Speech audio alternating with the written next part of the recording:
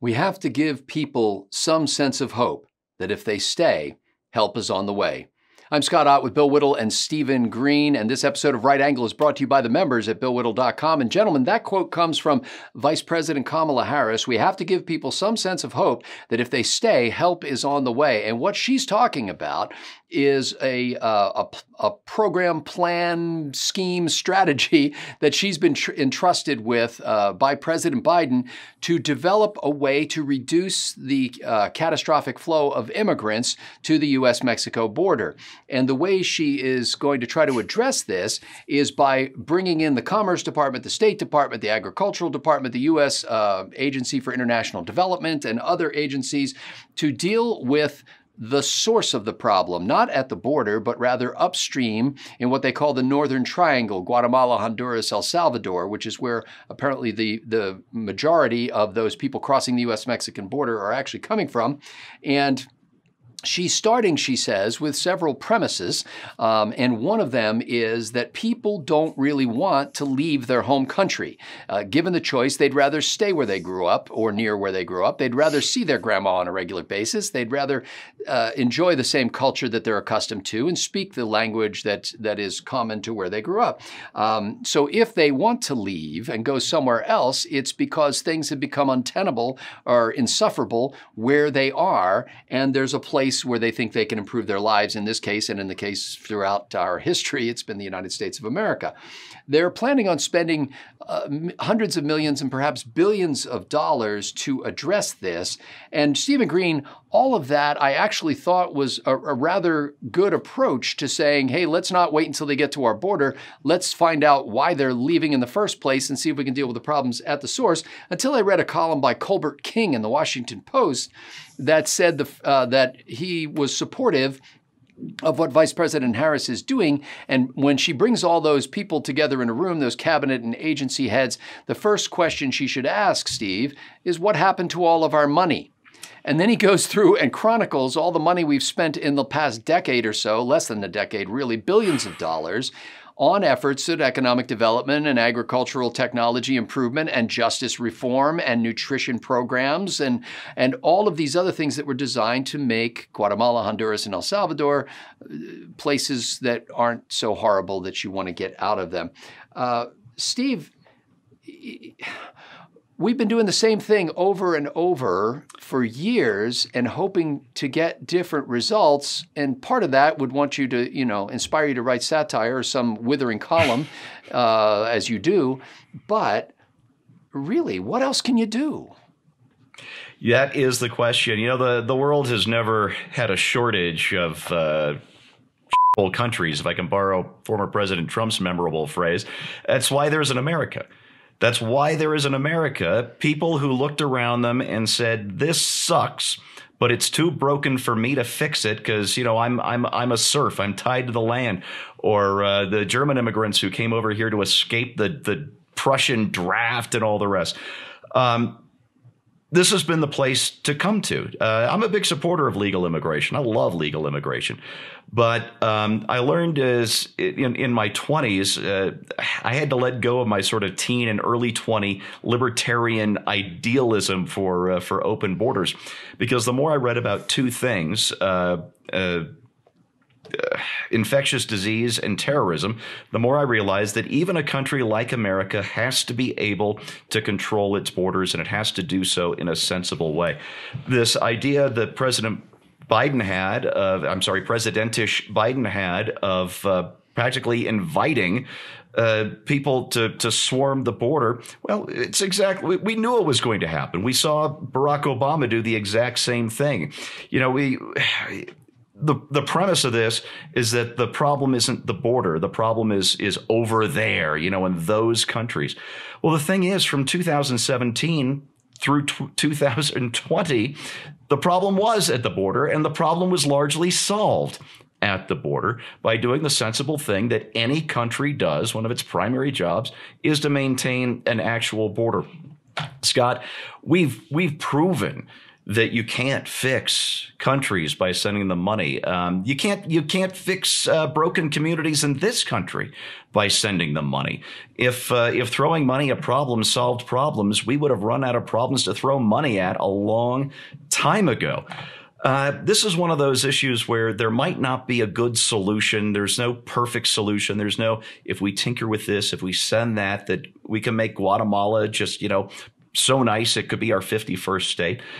Um, maybe there are things we can do at the margins, but at heart, the best thing we can do, the only thing we can do, is to go back to being the kind of America that we were premised on being, protecting rights and protecting liberty. And if we can do those two things, I think the rest will eventually, at least here, take care of themselves. Bill Whittle, I think I agree with Steve to a certain extent that we dealt with the issue at the border a couple of years ago, but I don't think we really solved the problem because it didn't stop people from wanting to come here or from trying to find clever ways to do it. It may have temporarily stanched the flow or reversed it in some cases as, as we send people back. In fact, the deporter in chief title goes to uh, Barack Obama. Um, so, you know, presidents have been trying to deal with this issue in a long time. And I got to be honest with you, Bill, if I lived in California and they said it was illegal for me to leave leave California and go to Texas, I would do it anyway. I mean, I'll be honest with you. I'm, so I can. That's the that's the trigger I'm waiting for. Is when they tell me I can't leave. That's the second that's, I'm right. Execute, yeah. Because I would rather be in Texas than California, and so I, I can understand uh, that, and and I don't. Uh, you know, I don't want to go to the traditional Republican way. Oh, that Kamala Harris, she won't even go to the border and see the problem there. She's a boy. I think that Vice President Harris is taking an approach that is a at least legitimately reasonable approach to how one might get at this problem. The only challenge is that it's been tried before in a variety of different ways with a great deal of money, and and still uh, has failed. Um, it's one thing if there's a problem in Pakistan. There's not a land bridge from Pakistan into California or Texas. And so we don't, it's not as big of a threat to us. But Bill, what do you do when you've got these folks who are, you know, who are closer to me than you are to me right now, geographically, mm-hmm. and who are living in these terrible places with terrible justice systems and gangs and poverty and something like 60% hunger in some of these countries. Um, how can we possibly address them as Americans uh, without just saying, hey, let's be a fortress? Uh, first of all, I just want to make sure I got that right. Did, Kamala Harris said, if you're here to stay, help is on the way? No, no, no, no. She there, she meant stay in your home country. Let me let me get that oh, quote correct. Because I thought, my God, no better oh. way to stop the yeah, flood of refugees people, by telling them just hang on long enough, more money's coming if you can only get no, here. No, no. We have to give people some sense of hope that if they stay, okay, meaning stay in Guatemala, El Salvador, or Honduras, okay, that help is good. on the way. Okay, so basically, what we have here is we have a, a thermodynamics problem. Uh, it's not even an economics problem or political problem. It's a thermodynamics problem. Things move from hot places to cold places, and the greater the difference between heat and cold, the, the more energetic that flow will be. If two things, if you allow that to go on, if you have something hot and something cold and give it some time, that old devil entropy is going to make sure that eventually they're both going to be exactly the same temperature. There'll be no motion between the two of them anymore. So we have a, we have a thermodynamics problem. We've got, we've got places where the, the, the, pressure to leave, where the temperature is very, very high, and it wants to go to where the temperature is low, and that means coming up here to North America. So that's how you have to look at the situation. In order to stop this dynamic, the, the thermodynamic solution is to get both of these things to more or less the same temperature. The greater the difference between the temperature between the two, the more people are going to try to move from one to the other. Now, you can ruin both countries and make life in America as bad as it is in, in the, the slums of Guatemala that they're trying to escape.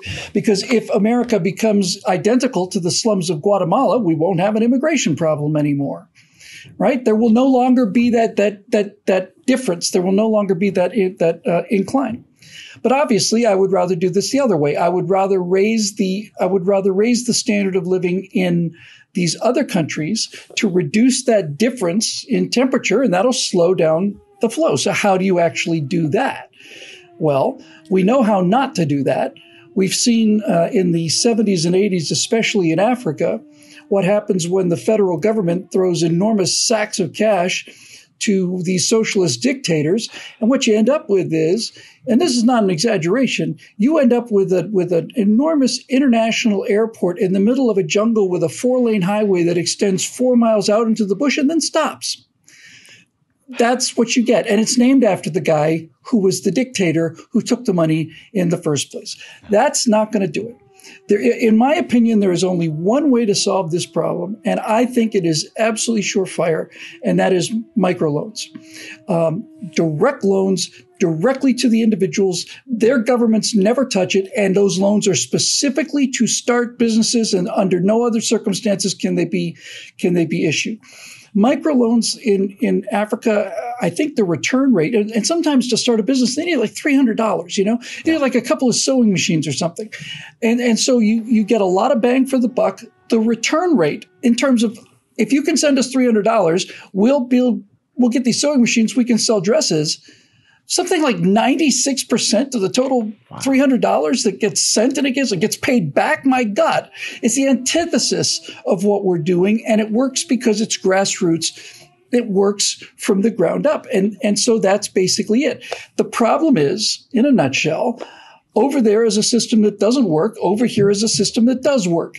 If we send money from the system that does work to the system that doesn't work, then all we're doing is provide more incentive for people to come to the system that does work. What we have to export is not cash. We have to export the system. We have to export capitalism. We have to export private property, individual rights, a legal system that protects your property rights, protects your person, all of that. That's the only way to reduce this gradient and it's an enormous problem. But I have been in, I have been encouraged by microloans by in a way that I think nothing else in the world encourages me. If you go directly to the people who are making a personal appeal for their private business, that amount of money is a is a infinitesimal fraction of what we would send to the government does so much more good employs people plus you get your money back who could argue with that uh, last weekend, my wife and I were driving around just looking at houses and enjoying the beauty of Texas. And we live in a little neighborhood that's relatively modest homes, uh, but well kept. And their, you know, lawns are usually mowed, and um, there's, you know, no Chevys up on blocks in front of the house, and things things are relatively decent here, although not fancy. I, we drove across the lake and took a right and just said, hey, let's just follow this road and see where it goes. And next thing you know, we're in like a third world country. I had no idea. And it was a sprawling, vast area. Uh, it was a slum. I mean, it was like every once in a while there was like a decent house that somebody had built, like right in the middle of this slum, but it was like dirt roads with deep ruts through them and junk cars everywhere and you know dogs running the streets and and and it was overwhelming as I thought, how could this be just across? And the lake is not that big. It's like a half a mile to the other side of the lake. I'm like, how is it possible that right across the lake from where we live in relative luxury, um, I'm looking at this place that looks like it's in Guatemala or Honduras or El Salvador and the worst parts of some of those places. And and I was thinking, well, what can be done here? How you know, if we built decent low income housing here, would this improve the standards of living? Or would the average person who lives there say, I got three dogs. I can't live in a two bedroom apartment of decent, you know, housing. And I like to work on my truck and, you know, and I, you know, I want to keep the chickens. And so, you know, you, you can't just go in and take people's lives and turn them over and say, I've got a government plan for you that's going to involve low income housing. You're going to have a much nicer place. It's going to be clean. It's going to be neat. And uh, you just have to get rid of the dogs, the chickens, the junk cars. And, you know, we're going to pave the roads, by the way. And, oh, now if you do that, then people will come back here. We'd rather not have people come back here. And so what I what I was thinking through in that process was how difficult it is to change an entire culture. You can't just come in and impose an external stamp on it and say, well, let's do things our way. So I'm totally on board with, with uh, Bill's idea of saying what we really need to do is we need to export the idea. We need to export the system uh, of capitalism. But that there's got to be an element of want to in all of that that I don't know how you export. Because the people who are here in the United States early on were the people who decided that they couldn't fix the whole countries that they came from. And so in their case, it was, you know, Great Britain was their personal one, or or it was the Netherlands, or it was Germany, or it was whatever. But they left the places that they found intolerable for a variety of reasons and came here at great risk to their personal lives in order to set up a system where they could basically be left alone.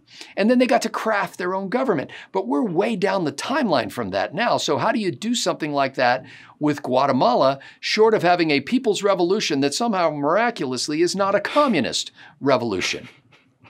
And I gotta be honest with you, I'm turning to the people in the comments section to answer the question. Because I don't know how, you know, we're so close to Guatemala, Honduras, and El Salvador not to mention parts of Mexico, some of which are lovely and well run and some of which are horrible. Uh, we are so close to them. We can't just say, well, we're just going to, you know, let's just pretend none of that exists. That's not going to affect us. It is going to affect us for a long time into the future. So we have to figure out some way of dealing with it.